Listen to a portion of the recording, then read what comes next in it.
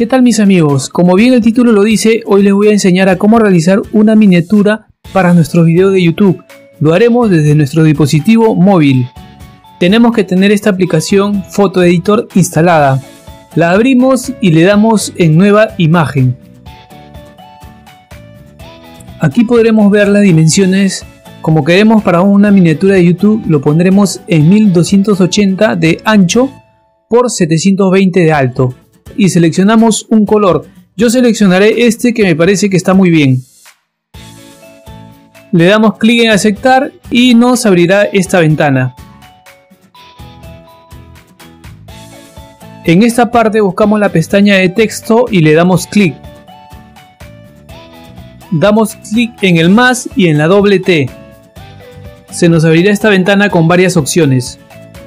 Le damos clic en propiedades y nos vamos hacia el nombre de la fuente para cambiarla por otra.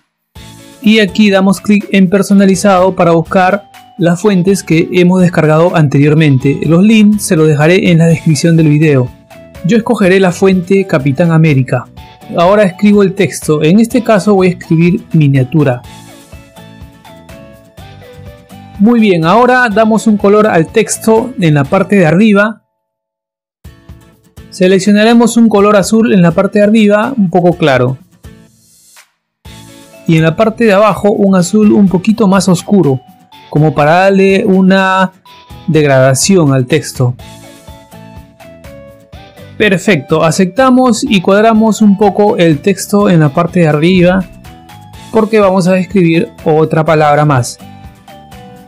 Aquí podemos poner lo que queramos, en mi caso voy a poner Carlo Blue. Hacemos la misma operación del texto anterior y en este caso le voy a colocar en la parte de arriba un blanco y abajo un gris. Nuevamente me voy a personalizado y en este caso escogeré otro tipo de fuente. Cuadramos bien el texto, lo colocamos abajo del primero. Presionamos en las tres rayitas que nos aparece aquí abajo y nos saldrán estas otras opciones. En este caso vamos a deformar un poco el texto dándole clic en perspectiva. Muy bien, así quedó perfecto. Ahora le doy clic en aceptar y empiezo a cuadrar el texto en la parte de abajo. Seleccionaré la primera capa y lo centraré más aquí al medio. Y el segundo también para ponerlo en la parte baja del primero. Muy bien, ahora bloquearemos las dos capas para que cualquier cosa no vayamos a cometer un error y las vayamos a estar moviendo. Ahora seleccionaremos la primera capa y nuevamente nos vamos hacia las tres rayitas y seleccionaremos la opción de máscara. Aquí en contorno podremos hacerlo un poquito más grueso. Yo le voy a dar un 30 de contorno.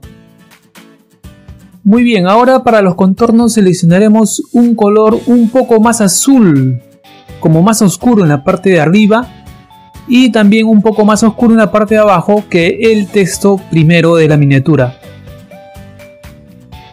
y así de esta manera generaremos una especie de sombra. Presionamos en aplicar y bajaremos la sombra hasta la parte de abajo de la capa miniaturas. Lo cuadraremos bien en esta capa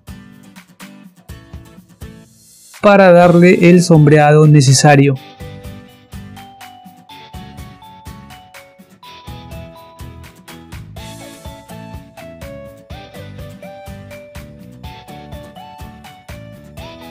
También haremos lo mismo en esta capa.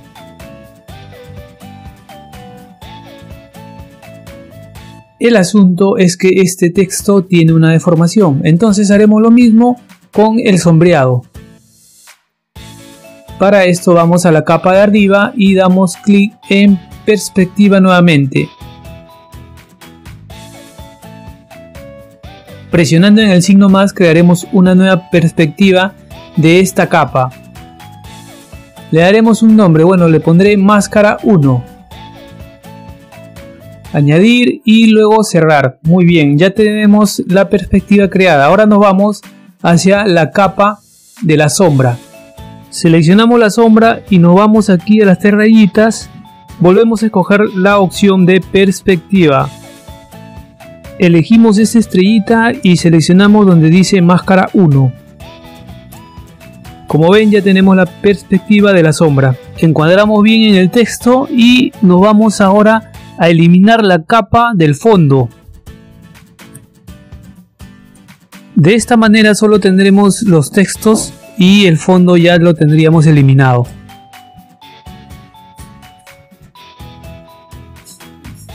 Ahora lo guardaremos en formato PNG para que el fondo sea transparente. Como paso siguiente abriremos la aplicación Adobe Photoshop. Presionamos en este cuadradito con el signo positivo y le damos en documento en blanco. Aquí pondremos las dimensiones que corresponden a la miniatura 1280 x 720 de alto. Damos clic en OK y se nos abrirá esta ventana.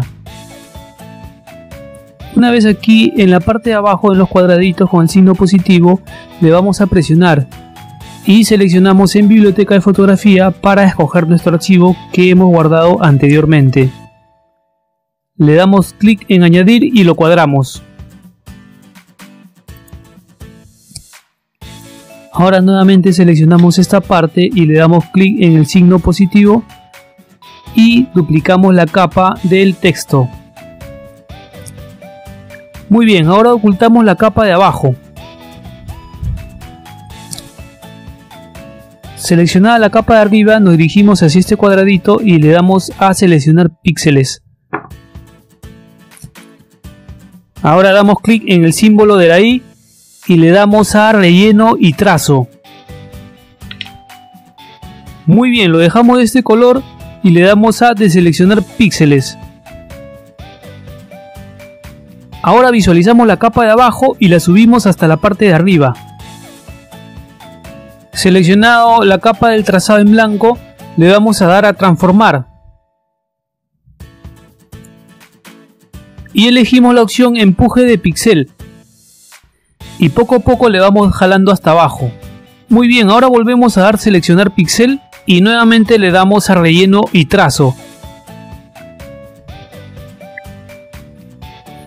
Muy bien, elegiremos esta opción del circulito de color y con este gotero seleccionamos el sombreado del texto anterior.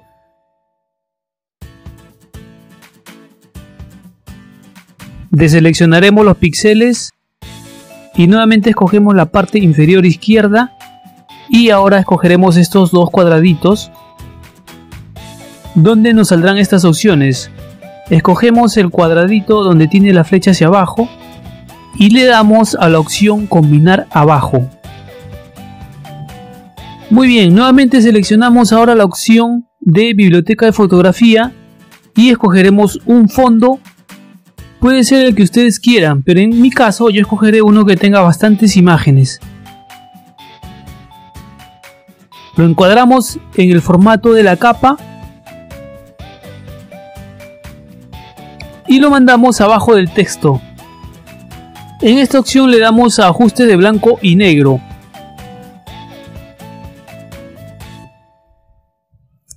La capa de abajo la subimos al medio de ambas y con esta capa seleccionada le damos clic en relleno y trazo. En color le daré un blanco y de opacidad le bajaré por lo menos un 67 o algo menos.